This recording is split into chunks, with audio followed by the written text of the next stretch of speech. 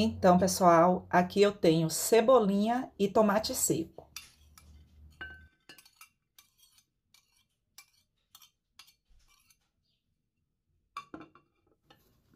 Uma xícara de palmito. Essa xícara é de 150 ml. E aqui eu tenho azeitonas. Uma boa empada tem que ter azeitonas, né não, pessoal?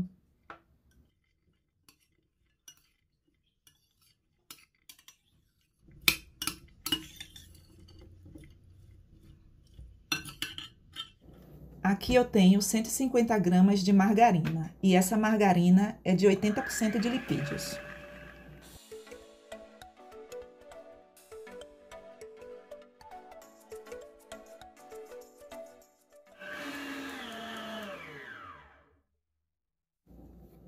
Agora que a margarina já está batida, vamos adicionar dois ovos, e um de cada vez.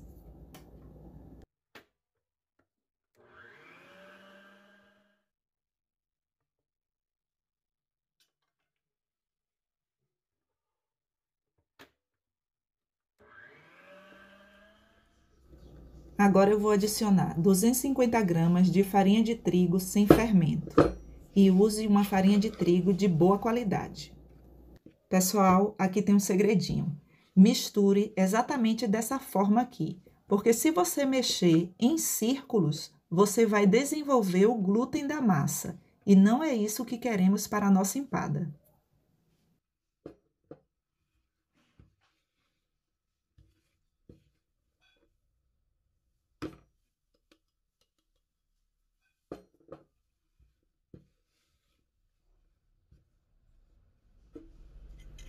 Agora eu vou adicionar meia colher de sopa de sal e meia colher de sopa de orégano. Isso daqui dá um sabor todo especial nessa massa. Todos os ingredientes já estão envolvidos e chega um momento que a gente tem que colocar a mão na massa. E misture dessa forma, com a ponta dos dedos. Olha só a textura da massa. É uma textura como textura de uma farofa bem úmida.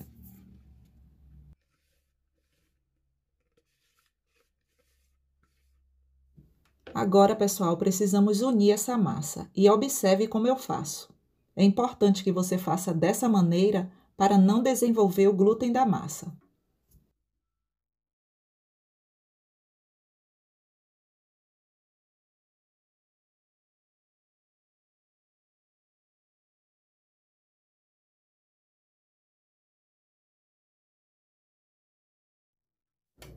Aqui eu tenho forminhas de empadas e o tamanho delas é de 7 centímetros e meio.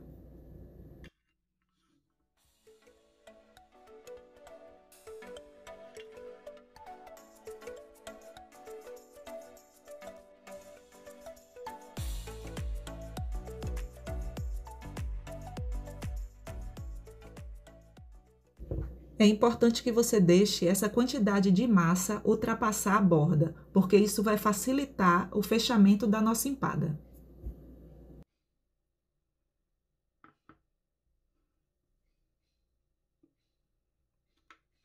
Aqui eu tenho requeijão cremoso e você pode usar a marca de sua preferência. E aqui é o nosso recheio, lindo, né?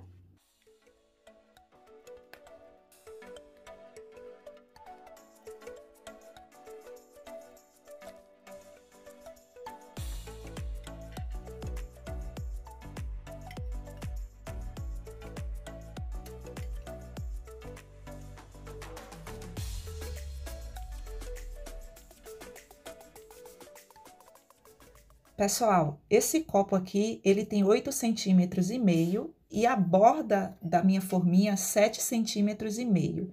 Então, eu uso ele como medida para a tampa.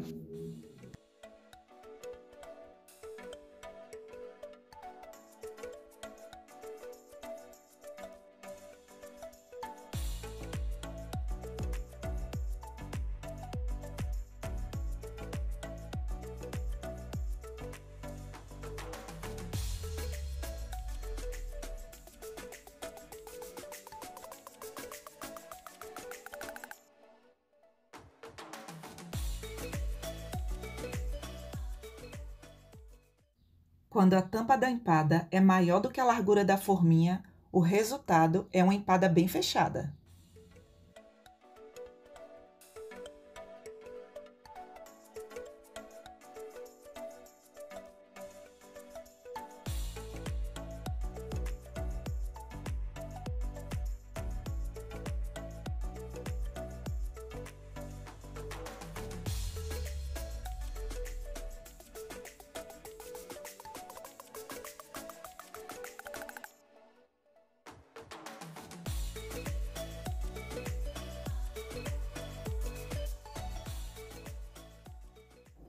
Observe como a tampa se uniu à massa e deixou a empada totalmente fechada.